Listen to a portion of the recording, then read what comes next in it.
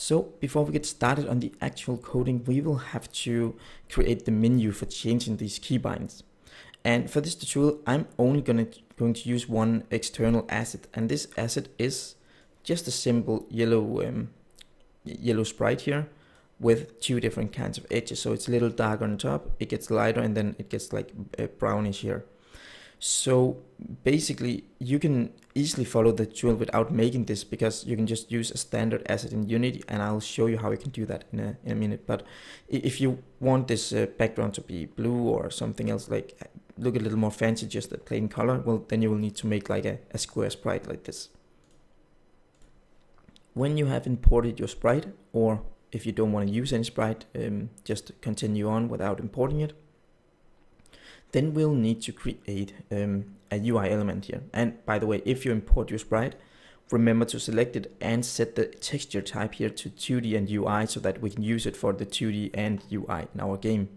And click the apply button after. So now we have imported it, we will need to create uh, by clicking create button, go to UI, and then we need to create an image. And this image is going to be our background panel. As you can see here, it actually just popped up under a canvas. And the reason that it pops up under a canvas is of course because we can't render anything in our, um, our game if uh, we don't have a canvas or we can't render any UI element if we don't have the canvas. So it automatically adds a canvas if it doesn't exist already. As you can see, if I take the image and place it outside the canvas, it disappears. And if I place it inside the canvas, it appears again. So this is going to be my background. So if, if you're not going to use any sprite, you can simply go to the color here and set the background to the color that you actually want. But I'm not going to use the standard. I'm going to use a source image. So I'm going to click on the image, select the source image here on the little radio button, and then select the menu panel.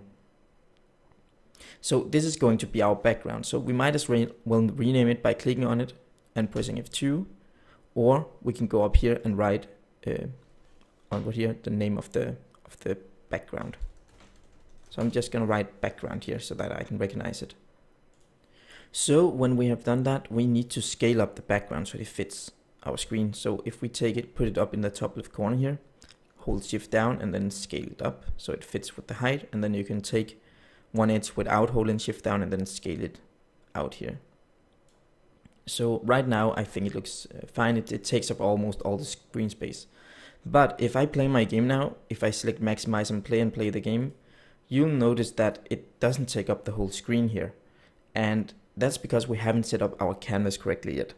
Because right now, the canvas scale is being set to, if you select it, the canvas scaler here, is set to constant pixel size, which means if it has 100 pixels, well, then it is 100 pixel no matter what resolution you're running. And as you can see, if, if we just say that this height here is 100 pixels, well, 100 pixels on this screen is way more space than 100 pixels on, uh, uh, yeah, it takes up way more space on the screen than 100 pixels on this screen here. So to make sure that it scales with the screen size, you have to select um, the constant pixel size here on the canvas if you select that and set it to a constant, sorry, scale with screen size. So if we do that, you'll see that it's a little bigger now because now it fits the screen size and then we can play our game.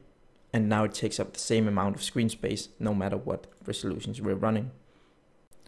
And then we need to define the area in which we're going to put our labels and our buttons. And that area is defined by adding another image. So right click on your background go to UI and then select an image. And this image is simply going to define or encapsulate the area where we are allowed to place our buttons and our text.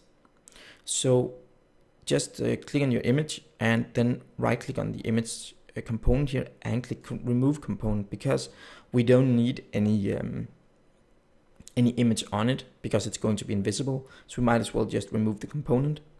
And then we need to take it and place it in the edge of this, um, this background and then scale it all the way to the right so it has the same width as the background and then almost all the way to the bottom here because we need to leave out some space for the save button so basically the space you leave here underneath maybe it's hard to see in the video there is like the edges right right here around here and all the space underneath here between these, this edge and the edge of the, the sprite is going to be space for the save button. So you decide how much space you want to leave.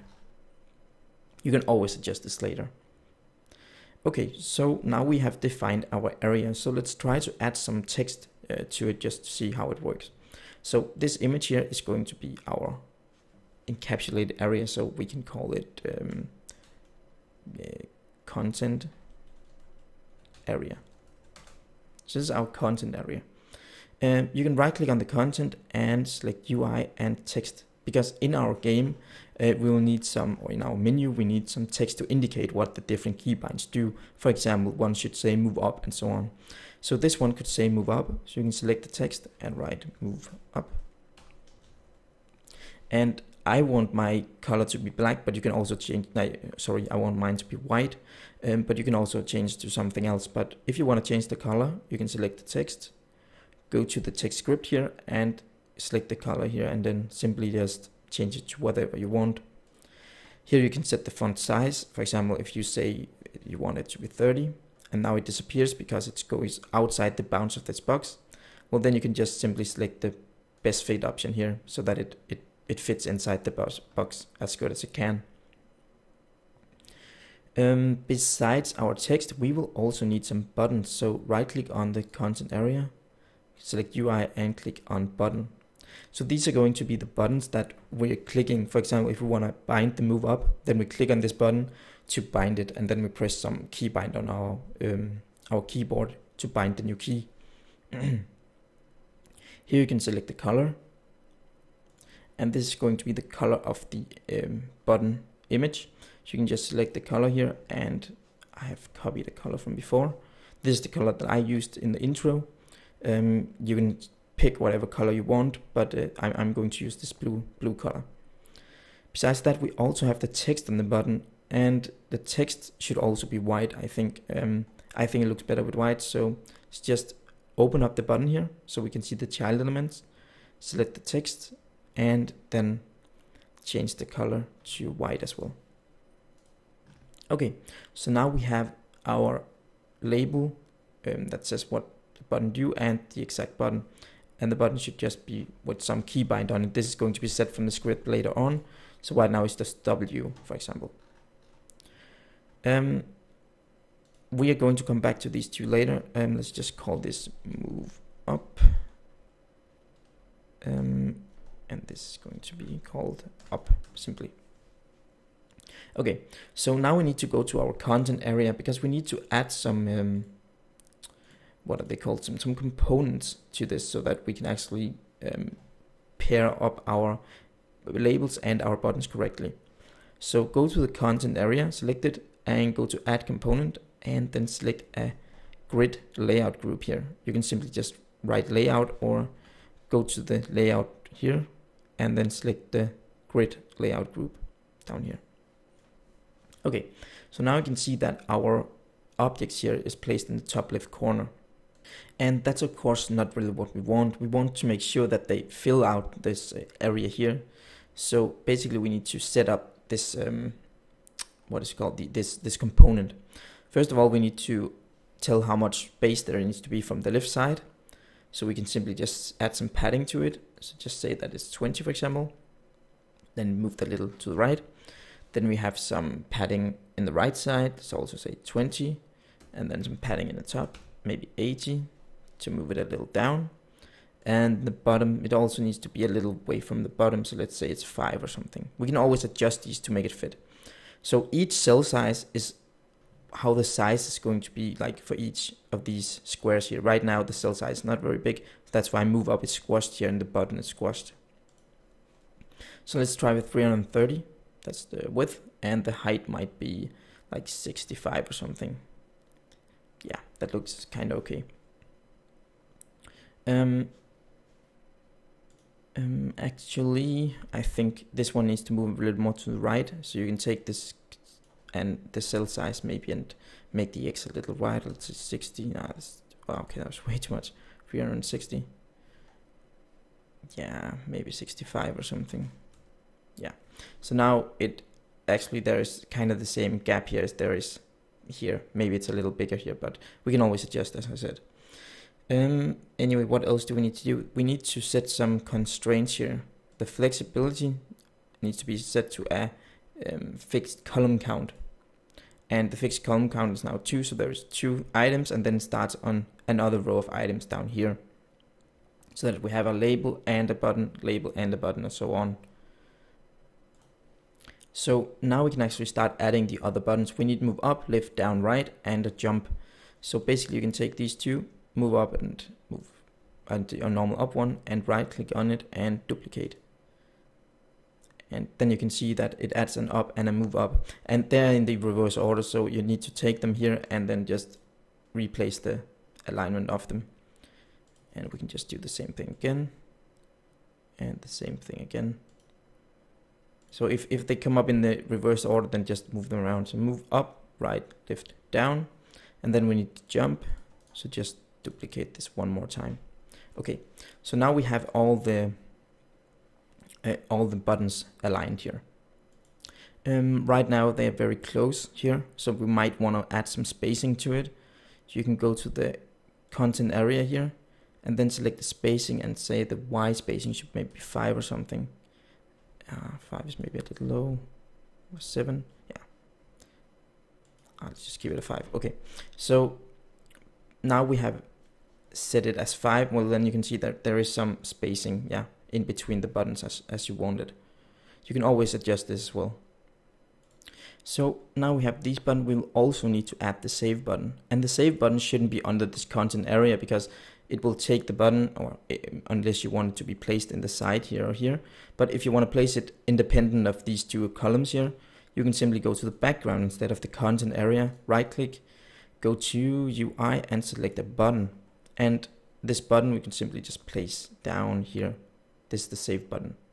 So it's a little smaller than the other buttons but that's okay. Um, you can also select a color of this button here. Let's see what color I have. I use this color so select the button, go to the color, and then set the color that you want. I want mine to be orange, for example. So here it is. Um, I would also change the text on it, so you can expand it, select the text, and write save, for example. And I also want this text to be white, because it looks better on a color. Okay, so there's a few things we can do to make it look a little better before we start coding. So let's open up our content area. So we have move up and up here. Let's select the move up first, which is the label out here. And we can make it look a little better by adding some shadow to it and some outline. So add component and write outline. And this adds like a black outline around the text. And then you can click add component and write shadow there we go. So now there's also some uh, some shadow under the under the text.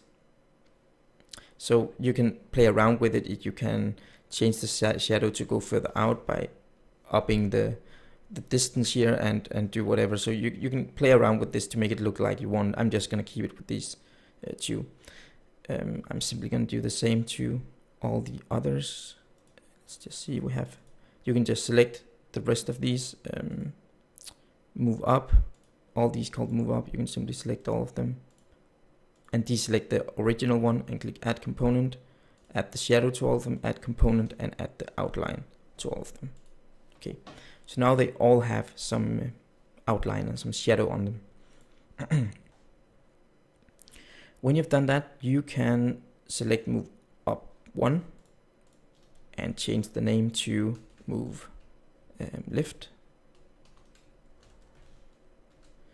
and then we need to change the text to say move left. And of course the others also need to be renamed.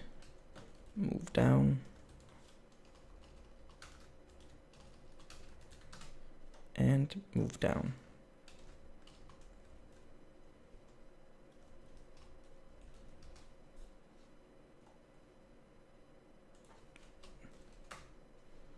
um, this one move was right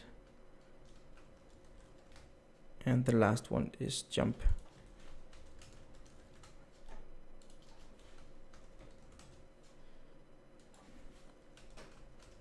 Okay, as you can see, the text looks different in all of them, and that's because of this best fit. So I actually think it's a bad idea to have best, fit on because you can see that it tries to fit the text into this, and the text fits better when it's moved down because it's longer. So it just makes it smaller here. So basically, just select all all these text here, and remove the best fit here. As you can see, and now it now it actually has the same size all, all over. So maybe you want it to bold, so you can select them all again and then select here where it says normal on the character and select bold. That might also look a little better. Okay, so now I think the text is fine if you play the game here. Yeah, I, I think this looks fine for this uh, test project. Okay, so now we need the buttons. And first of all, we need to rename them. We have up. This one should simply be renamed down. And this naming here is um, not down lift, of course. This naming here is very important because we're going to use it in our script. So it's it's important that you write lift down, up, and right, and so on. And this down. And this is right. And this is just uh, jump. Okay, uh, down. What I do here? Um, move down. There we go. Now it looks better. Okay, so now we have the correct names on, on each button because we're going to use it in our script to translate it into the direction that we're moving, for example. Um, if you think it's confusing with the names that there's move up and up, um, then you can maybe rename these labels to move up text, for example. Move left text, move down text, and move right text. Okay, so now we have set that up. We can also change the text in here, of course, so it looks better. Right now it's just a small W. Um, we can simply just take our, open up our button here and select the text. And then you can do the same. You can make the size uh, larger, like 30. You can change this to bold. And you can, of course, also add the component for, for example, outline or shadow. Let's just go with shadow here. I don't know if I want to make it larger. 40 can even be bigger I think yeah so let's keep it at 50 with all these let's just select all of them now and then set it to 50 and make them all bold and get them as shadow okay so now they all have a shadow here and basically you, you can change the text if you want to look fine here when you're not playing the game. But basically, we are going to change the text um, text from inside the script when we run it. So you can just this is just for like make it easier to see what you're doing when you're coding out here. Not jump space, of course. There we go. Okay, so now we have set up some standard uh, keybinds that it will have in the inspector, uh, in yeah, in in the scene. Can also add some shadow to the buttons maybe. So you can select all the buttons here. Left down right jump. Um, and also the save button of course out here. Then we can add some shadow to them so it look a little better. Um, and also in the save button out here you can of course select it and set the font to something larger like 30 no, it's a little too big. 25 yeah. And then add bold and add component outline maybe. I know if we want to add some shadow. Yeah you can decide what you want to put I'm not going to put um, outline on these at least I think it looks better without um, let's try to remove it Yeah. Okay, so now our UI is actually set up and in the next video we can start um, coding our script so that we can actually move around or uh, add the functionality for moving and for um, changing the keybinds.